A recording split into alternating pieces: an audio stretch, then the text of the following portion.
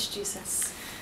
Hello, I'm Jenna and this is Louisa and we are going to do a timeout book Time Out bookstore review for you. just I'm just going to keep going. Yeah. Um, so the next um, book that we're going to talk about is We Are All Completely Beside Ourselves by Karen Joy Fowler. Um, we actually both read this probably a couple of months ago, so we're going to try and remember.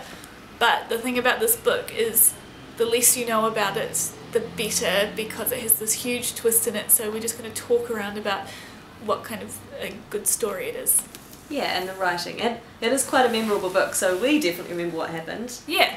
yeah. Um, but yeah, it's it's going to be a great um, sort of book club book, I think. It's um, beautifully written for a start. I think um, you're completely absorbed into.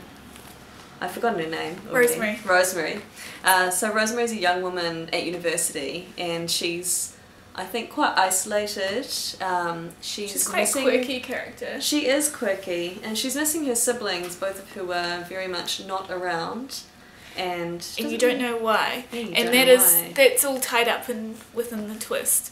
Um, so it's this quite good family drama.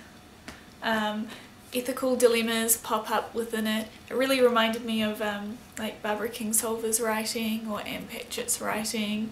Um, do you think of anything else that you? I mean, I hesitate to say this, but in a way, it's almost a bit like Jodie Picoult, or however you say her name, because there is a sort of an issue at the heart of it. yeah, that's Um, true. But I really prefer this.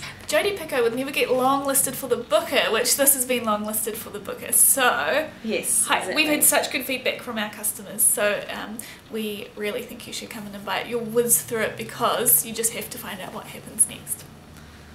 Yes, so.